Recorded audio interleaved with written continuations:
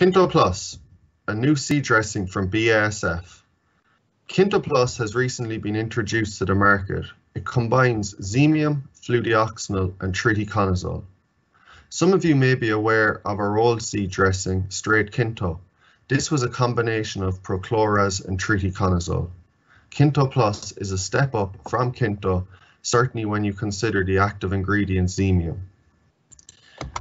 Within BASF, we're conscious of the fact that, that, that growers are now delaying drilling due to blackgrass pressure as well as BYDV pressure, and there is perhaps more of a need from a seed dressing not just to deliver on seed and soil-borne diseases, but equally to ensure better establishment. So what does a grower demand from a seed dressing? Ultimately, as I mentioned, you want comprehensive, long-lasting efficacy against all seed and soil-borne diseases. But equally, the game has moved on, and as I mentioned, growers now demand the crop to get off to the best possible start. Within Kinto Plus, backbone by Xemium, this ensures the crop uh, uh gets off to a better start through improved rooting and better germination, ultimately leading to better crop establishment and allowing that crop to, to, to sustain itself in, in periods of drought through better rooting early in the season. But equally, we know we need to look at the seed dressing from a seed processor's perspective equally. It's not just the grower who's involved in seed dressing. So from a seed processor's perspective, a seed processor demands efficiency they want one single seed dressing that can cover a range of cereals at the same dose rate. Within Kinto Plus, we have a label that covers all winter cereals at the same low dose rate of 1.5 litres per tonne. This certainly leads to efficiency in terms of not having to carry a huge array of seed dressings. But equally, Kinto Plus is a particularly stable formulation which allows for better flowability through the seed treatment plant, which leads to better coverage of the seed and equally very, very low levels of dust, which is very important from an operator's perspective.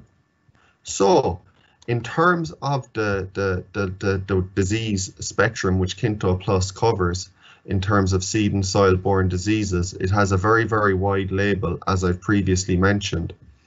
This is backboned by xemium, fludioxonil and triticonazole. At an application rate of 1.5 litres per tonne, Kinto Plus is delivering 50 grams per litre of xemium, 50 grams per litre of fludioxonil and 50 grams per litre of triticonazole. Kinto Plus also has a label which ensures physiological effects. What this means is it leads to better plant vitality and root growth early on in the plant's life, which ultimately leads to, to a reduction in plant stress during the establishment phase. In terms of the diseases, and when we discuss seed and soil-borne diseases, we really need to look at it from an active perspective. As mentioned, the combination of fludioxonil, triticonazole and xemium offers a very broad array of seed and soil-borne diseases in terms of level of control that can be expected. If you look at the label on the slide, you will see Kinto Plus is particularly strong in loose smut. This is backboned by triticonazole and xemium. Many of the seed dressings in the market um, are not particularly strong when it comes to loose smut and do require an additional uh, seed treatment partner. But within Kinto Plus, you certainly have that broad package in terms of seed and soil-borne diseases. So how has Kinto Plus performed in trial? Last autumn in Ireland, we, we looked at seed treatments from, from a number of angles on winter wheat. We wanted to explore the impact which a seed dressing has on a rapid emerging variety and a slow emerging variety. And if we take the slow developing variety, in this instance Costello, we looked at Kinto Plus in trial against a number of other dressings. We compared Kinto Plus to Beret Gold, which is quite a popular SPD, but equally to Redigo Pro, one of the market leading SPDs. What was also contained within that trial is Vibrance Duo, which has now created quite a strong segment for itself in the market, particularly in the premium end of the market. What we saw from Kinto Plus was not only did we, we see very, very good levels of plant counts in terms of established plants per meter squared, but equally in terms of the amount of tillers that that subsequent plant produced. Albeit, when you looked across this trial, even though on the graph the results might seem quite stark, there was no significant difference across it. But when you move on to the rapid emerging variety, this time the, the variety Bennington, you see that some of the other seed dressings have reduced in terms of their performance relative to, the, relative to the slow emerging variety on the previous slide. However, with Kinto Plus, you get a level of consistency. Again, it's performed very, very well in terms of plant counts per meter squared, but more importantly, equally in terms of tillers per meter squared. As mentioned, we have seen quite a level of consistency with Kinto Plus across these range of trials, both in terms of rapid emerging varieties like Bennington, as you're looking at on this slide, but equally in Costello on the previous slide. But all in all, there wasn't any significant differences in terms of uh, in terms of plant counts or tillers. But what, but what was striking was the level of consistency achieved with Kinto Plus. We all remember the autumn of 2019 and crops were drilled into pretty difficult conditions if you recall. And we again looked at Kinto Plus in trial in Ireland. This time we look at the variety JB Diego, uh, drilled after potatoes in, in County Tipperary in Southern Ireland. Conditions were really, really difficult. We again looked at a range of seed dressings to, to compare Kinto Plus to in terms of the premium end of the market, Kinto Plus was trialled against Vibrance Duo, as you can see. But we equally looked at the SPD end of the market, this time in terms of Redigo Pro and Rancona. And not only did we achieve very, very satisfactory plant counts per meter squared from Kinto Plus, but this equally transferred into yield. So in terms of a, of a very, very difficult slot, and how did Kinto Plus perform against a, an array of seed dressings? It performed very, very satisfactorily. Again, we go back to the difficult autumn of 2019, but this time we're looking at barley and a malting crop, RGT Planet, drilled in the autumn. Remember again, Kinto Plus is cleared across all winter cereals and does have a label to, uh, to be used on malting barley crops we all know with, with barley, uh, yield is determined by, by, by shoot number per meter squared, okay? And what we've seen with Kinto Plus is we've seen a very, very satisfactory level of performance in terms of delivering shoot count, which ultimately transferred into yield. Now, even though these results might seem quite, uh, quite stark, it does have to be bear, uh, kept in mind that the only significant difference was against the untreated. But again, what we're seeing with Kinto Plus is a huge level of consistency over a number over a number of seasons in trial. I mentioned at the outset that one of the very, very big advantages and one of the, the striking advantages we see with Kinto Plus is its performance on loose smut. Loose smut is is is a is a disease which which can raise its head literally um, every so often, and it's a disease that affects barley. Now, ultimately, it's a seed-borne disease, so it can only be controlled through a seed dressing. It has to be kept in mind that not all seed dressings are particularly strong on loose smut. The trial we're looking at here is in a variety called Alexis. It's a spring barley variety. Now, originally, this variety was, was looked at for the performance of Kinto Plus on leaf stripe. Ultimately, leaf stripe didn't develop within the plot, but what did develop within the, the plots, should I say, was, uh, was quite a significant level of loose smut. And what was very, very striking was the performance of Kinto Plus on loose smut, particularly when you look at the untreated, where you're looking at 132 uh, ears within a plot infected with loose smut. You might look at Anchor and Vibrance Duo and think, blimey, they, they have performed pretty well. However, six and a half years for Vibrance Duo within a plot uh, infected with loose smut is not really uh, acceptable. if you look at loose smut, the best analogy I can use is to to compare looking at a, a golf ball in a coal bucket. It is really quite striking.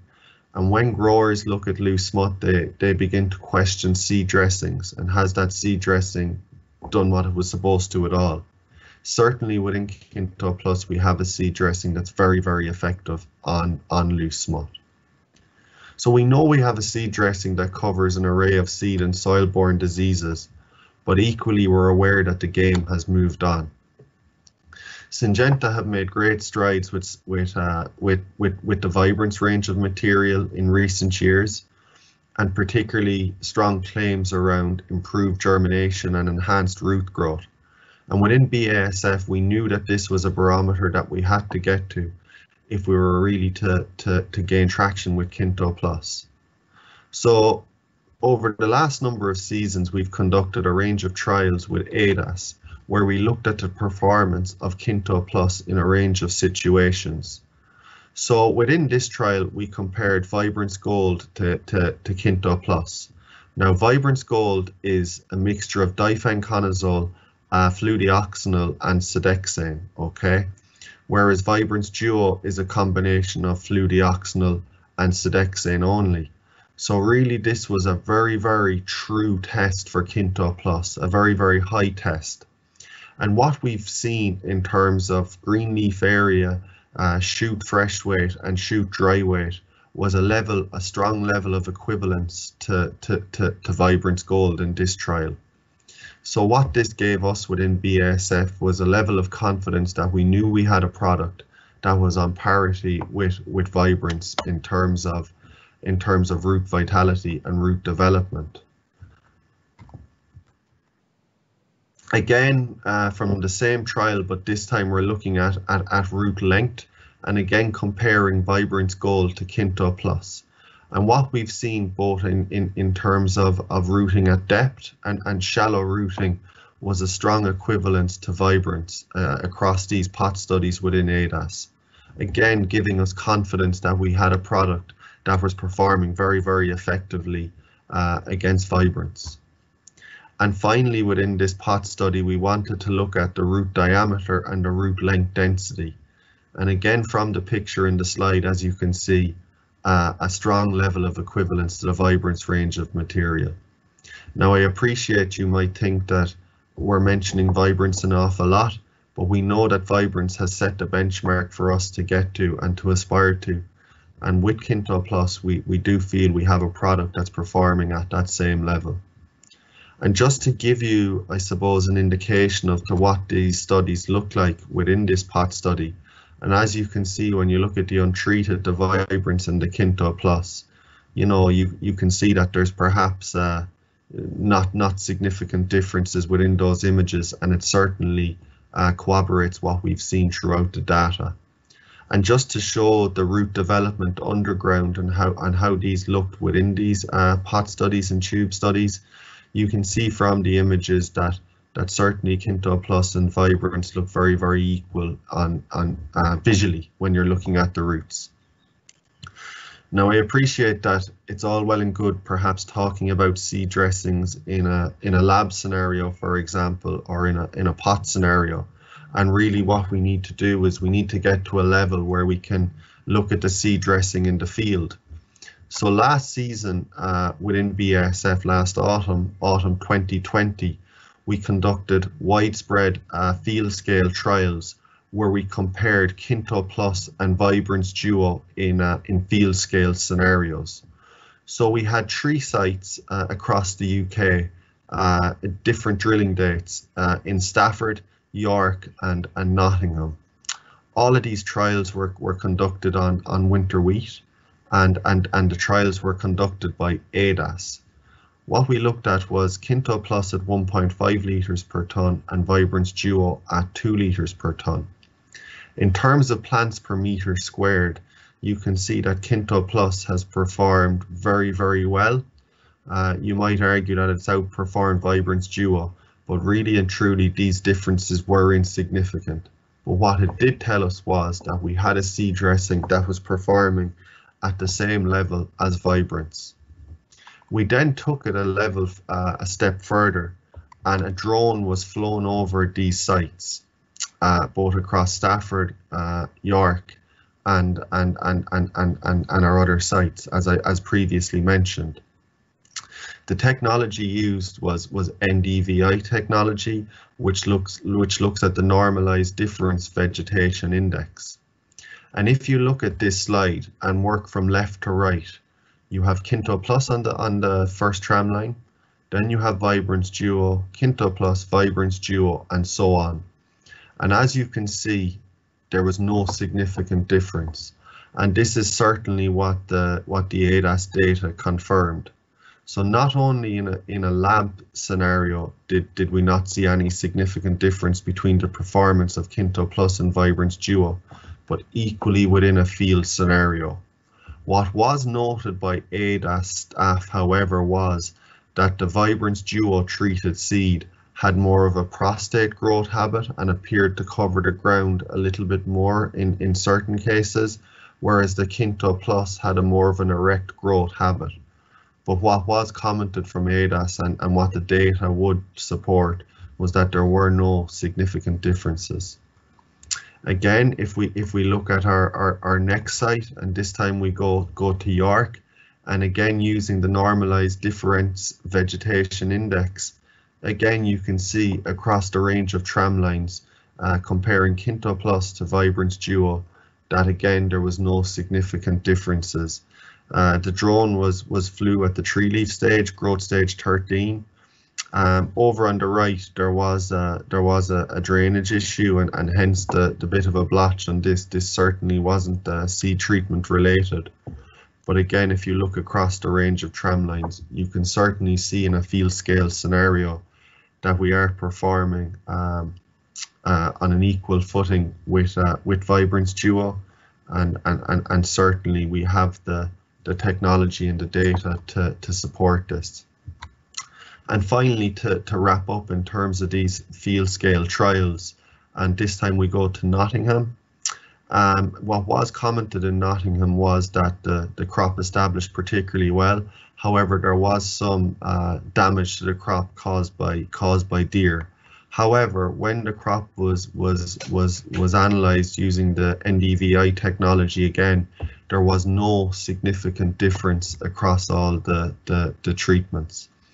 So as mentioned, you know, we now have not only the, the pot studies and the lab studies to support the performance of Kinto Plus versus Vibrance, but equally we now have the field scale data to support the performance of Kinto Plus versus Vibrance again within BASF acknowledging that Vibrance has has set the barometer for seed dressings to get to. So finally to, to wrap up and, and, and I suppose from the from the grower's perspective and from the performance of, of Kinto Plus uh, in the field, we know that we have a seed dressing that that's covering all the, the seed and soil borne diseases um, as well as having those physiological benefits which which are now, I would argue, uh, being demanded by by growers and agronomists alike. Certainly, we feel we have an advantage over Vibrance Duo when it comes to, to loose smut. Just to recap on the label, 1.5 litres per tonne across all winter cereals, including uh, winter and autumn sown malting barley. So, you know, a very, very broad label um, at, the, at the single uh, application dose rate, which certainly leads to efficiencies um, in terms of the seed processor. And I suppose to to move on to the next step in the present presentation and to look at it from the seed processor's perspective, you know, we do realize that that the, the seed processor is is critical in terms of uh, delivering the seed dressing message and, and, and ultimately they need to, to become comfortable with the seed dressing. And where a grower looks at a seed dressing from an establishment and a, and a disease perspective, a seed processor looks at it from a different angle. They want a seed dressing that's going to improve efficiencies. And certainly, as mentioned, that, that single dose rate of 1.5 litres per tonne across all cereals certainly lends itself to, to efficiencies. I mentioned at the outset that one of the advantages we see with Kinto Plus centers around dust. And you know we're living in a climate now where where where all uh, I suppose um, fungicides and, and that includes seed dressings are coming under scrutiny. And certainly anything that that can uh, I suppose lend itself to a better environment for for an operator is positive. And certainly within Kinto Plus uh, we have seen uh, huge levels of reduction in terms of in terms of dust which is really really important not only for the operator within the seed plant but equally for for the drill operator who, who who's filling a drill numerous times over the course of the day but perhaps one of the more important points in terms of the formulation, in terms of the seed dressing, is the actual coverage of the seed. Seed processors, uh, agronomists and, and growers alike do realize that, that not all seed dressings do deliver the, the high level of coverage that's that's demanded. And certainly within Kinto Plus, due to the better formulation, we are covering every seed effectively, which is important, not only from a, from an efficacy perspective and, and, and, and from, from the performance of the seed dressing, but equally important for the flowability of Kinto Plus through the drill. So we do feel in terms of, uh, I suppose, a seed dressing from, from a seed processor's perspective, that we, we, we tick an awful lot of boxes, but equally from a grower's perspective, uh, covering uh, a wide range of seed and soil-borne diseases, as well as allowing that crop to get off to the best possible start. Thank you.